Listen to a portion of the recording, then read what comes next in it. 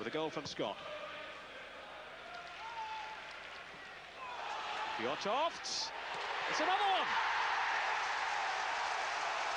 Such awareness shown then by Fjortoft. Two goals in a minute, which have left Brighton totally stunned. Clinical finishing by Fjortoft. Well, that's goal number 15 for him.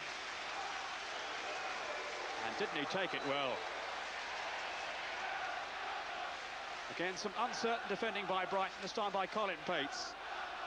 And Fjortoft spotting the keeper off his line.